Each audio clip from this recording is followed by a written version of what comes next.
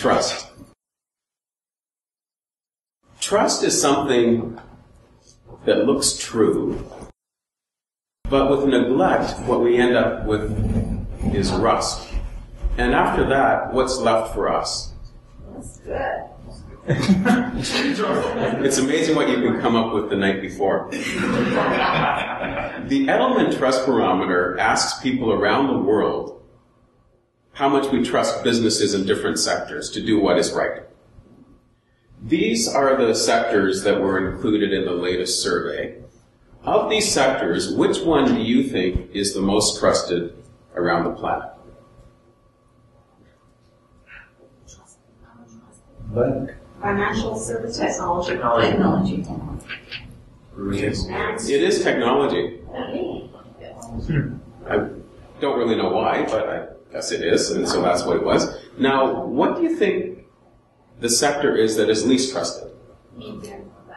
Financial services. Financial. Pharmaceuticals. Financial services is the winner in this category. And just to look at the relative differences, technology is trusted by about 79% of the people. I think this would have been higher if Steve Jobs had not died and if the, the iPhone 5 had been released according to when people thought it would be out. And the financial services sector is, uh, is quite a bit lower. And as an insider, I, I can see why that is. But as customers, do you have thoughts on why this sector would be the lowest ranked of all the sectors in the entire world? Any thoughts? Service charges. The service charges? Profits. Well, what And happened? around What happened in volatility, the stock States? market up and down, volatility, they have Or quarter sell down. Yeah, what happened? I was thinking everyone would say that they can't think of any reasons, but I found more than I was expecting.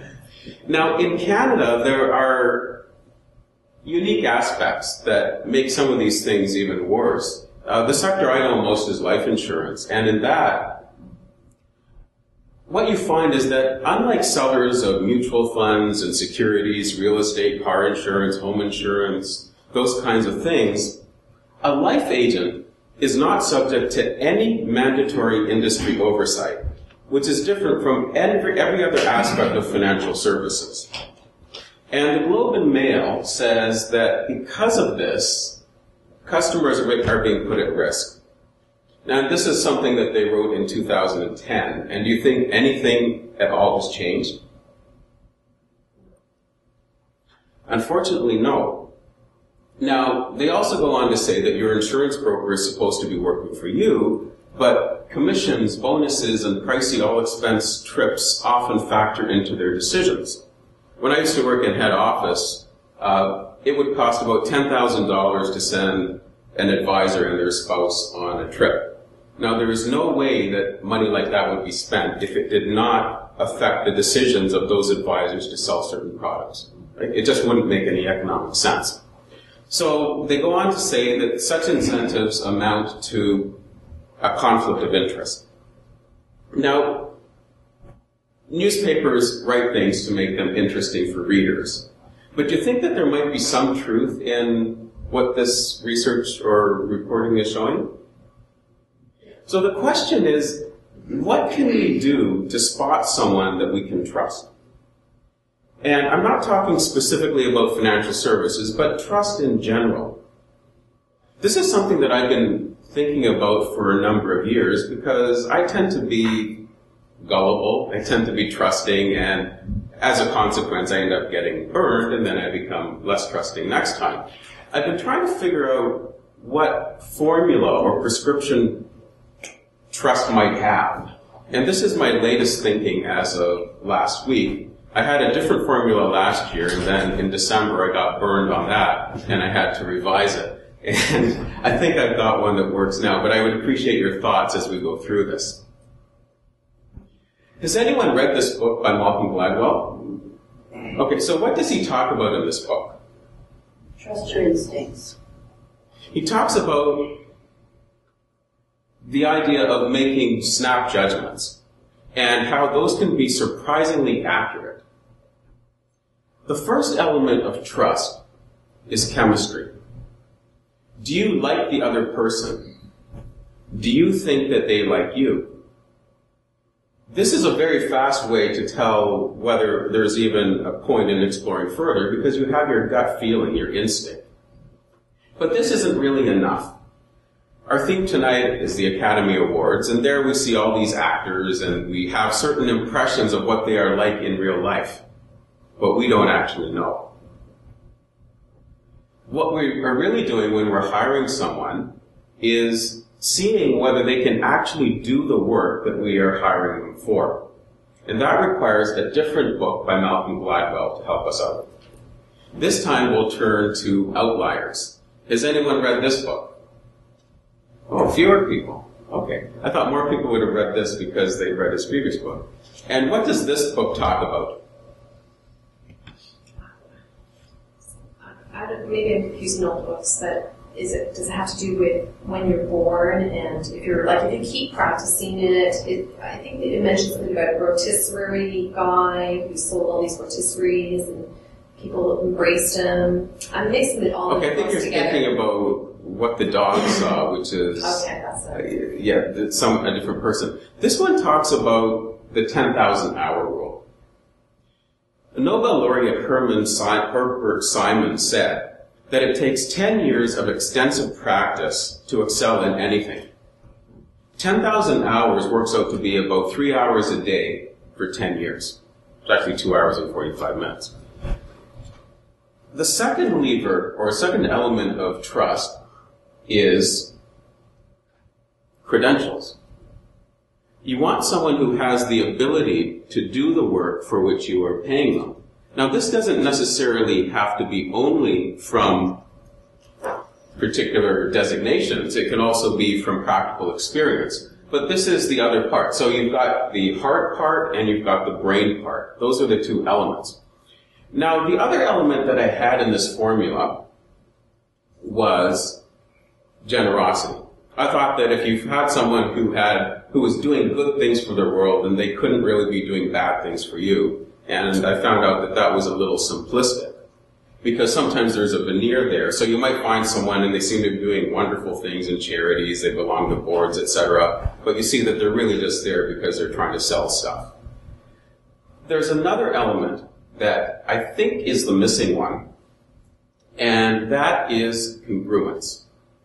Congruence has to do with you being a detective and looking for clues to see whether there are inconsistencies, whether there are flaws of character, whether there are warning signs that tell you that things may not be quite the way your heart and your brain think they might be.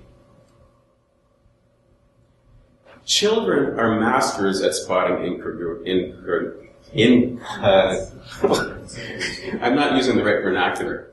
Uh, children are very good at spotting inconsistencies.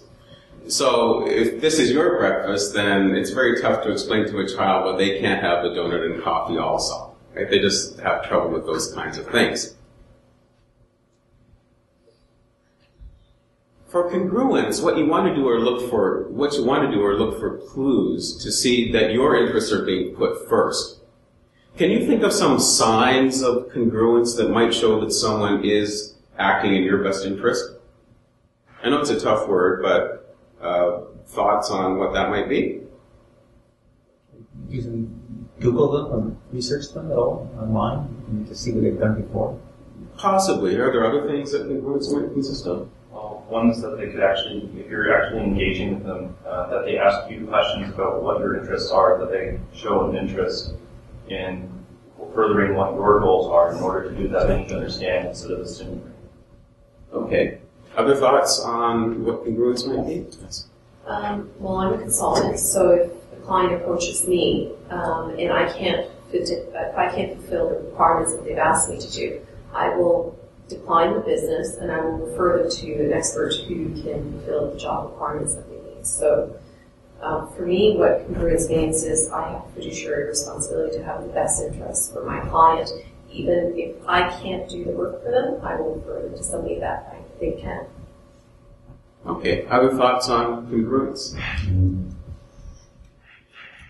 A couple of other thoughts, because I've been thinking about this a lot. And I do like the aspect of generosity. So I think that is certainly a component of congruence, but it's probably not enough. Another element that can show that people have your best interests at heart is advocacy on your behalf. You'll find that many people belong to organizations which push the interests of that organization, but are they doing things in a public manner to show that they really care about you and are taking a stance? And I know that in the past I've done many discussions about social media, which I won't mention this time, but that is a way that you can see whether someone is walking their talk because it's hard to fake for a long time. If someone is going on the record saying things that are of benefit to their clients rather than sticking with their industry, then that shows that maybe there's a belief system there that has some value to it. Any other comments on congruence? We'll take, we can take one more. Okay. So, do you agree with this particular prescription? Do these elements seem to be the correct ones? Do you think there's something missing, something that you would add, something that you would change? I really value your feedback because I'd like to have a good definition so I don't have to keep changing it. Yes. I think that this is a very uh, cerebral approach uh, to trust. I think intuition has a lot to do with it, and you need to feel uh, something from that person, that individual. I think It's a it's your gut feeling. Okay, so that would be perhaps the chemistry aspect then? Could be while you're there, but when you're away from that person, is you know, I I guess it's hard to say it would fall to chemistry, but I think intuition is another another element to it, albeit maybe a smaller element, but it's definitely there. This is something that's intangible where... Yeah, it's intangible. Okay, yes. I, I kind of agree with the gut instinct, you know, as a recruiter, um, yes, I have the credentials, I have three designations, but I've interviewed so many people now over the phone or in person, it really is a gut instinct now, and I'm almost ninety-nine percent right in terms of if that person's a good placement for a company or not. Um, and I think what I based on is, yes, there's a little bit of that chemistry, that gut instinct, but it's mostly my experience. You know, I've done this so many times now. I've been recruiting for, I don't know, 20 years now. So I understand, um, based on my gut instinct, yes, I'll ask certain questions, but it really is the gut instinct. The first minute, the first impression, how do you appear to me? How are you going to appear to my client when I bring you forward? So a lot of it is gut instinct, and it's more than I think just chemistry. It's, I'm leveraging from my experience. Okay, now you're discussing it, your area of expertise, but suppose you were hiring a plumber. Yeah. Then would you just rely on your gut instinct there also? I wouldn't, first of all, yeah, I would decline that work as a consultant. I can only do. No, no, sorry, I mean that if you were hiring one to fix something in your own place. Uh, then I get my husband to do it. Okay, the different plans. Yes. I, I believe that this works as gut instinct. That's because I see it working, but mentally I don't. I don't believe it. You know, this is, doesn't make sense to me, but I know it works. It's something that is unknown to me because this is not the way I operate. I'm very rational and I like to have concrete facts. But somehow there is something in this reaction. So I have to admit, well, yes, believe it works. So that's hmm. mine. Yes. In fairness to Promod, if you read the book Blink, it refers to making snap decisions or quick decisions when a person has experience in the area that they're making the decision making on. What it also refers to, however, is when you're making snap decisions when that experience is lacking. And in those types of situations, when you're hiring a plumber and you don't have any experience, you shouldn't be relying on your um, your snap decision, snap decision making, quick decision making processes. So, uh, it, those elements that you're referring to are, I think, implied in some of the uh, the model, the framework that that Promod has has presented here. So, uh, it's there's there's some thought behind this, and I think uh, it deserves uh, consideration. Well, what about, sorry. Yes. I think um, um, it's an innate thing that human beings usually trust when they know they groups, like, you know, referrals, or I know I'm going to be part of that group, and that group is such and such, you know. So the reason I'm telling you this is this new thing for Twitter for me.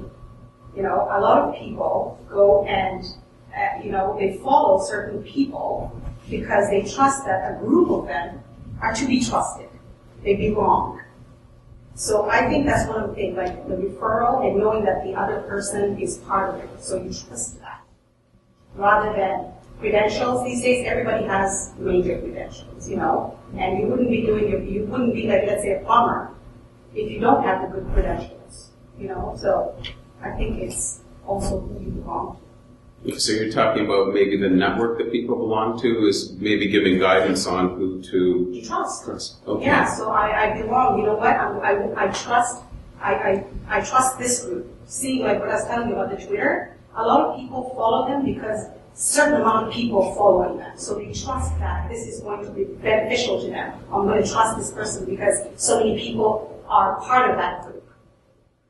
Okay. So one more comment from the back. Yes. So I was gonna say, like, I'm a, I'm a home inspector, so when uh, we look at a house and see that there's problems, that people always ask you, know somebody. For me, it's always about screening my contractors or possible contractor. So for me, it's, you know, it's, it's a lot more of this, okay, this thing, but for me, it's all about proof and following up to the nth degree, finding out, let me see examples of your work. And then from there, and then having the knowledge, I have knowledge, compare that with that, then I can say, yeah, this person is safe. And then I'll go ahead and pass the referral. So for me, it's a lot more on proof. Uh, and also part of the gut that the, it's more of the proof. I need to see it. Okay. And okay. additional comment? Eighty-five percent of people, eighty-five percent of managers make decisions based on knowledge that they acquire from people that they know. The fifteen percent of people that often don't make decisions based on factual, what is considered um, factual information, are often either new to a situation, new to a company, don't know the other people in the environment, and they're sourcing from unknown sources or fact bases, databases, things like that. But over time, almost everyone, regardless of whether they indicate themselves as being fact-based or not, rely on people, social networks or other sources, people that they know for the information that they acquire and use. I think there was a comment from this side also. No, I I had one comment, I think Leila kind of said, it's kind of word of mouth. If you're in a group and it's word of mouth and you hear good things about that person, that kind of helps with the trust aspect, doesn't it? It was kind of like the wisdom of crowds kind Yeah. of idea, the IMDb thing where you look at Exactly. what other people are saying about a movie rather than a particular person. Yeah. But we have time for one other comment. Is anyone else? Yes. I think religion could be one of like the people with the same belief, and then they will be uh, something sharing in common, and they have the same belief, so it would be easier to be trusted with the same belief. Okay, so thank you so much for those uh, suggestions. We've looked at ways that you can spot people trust. Now, this is where we have the nasty question. The question is whether you are trustworthy. Right? Because it's fine for us to be looking at other people, but we also need to be looking at ourselves. Because if you look at trust, at the heart is you.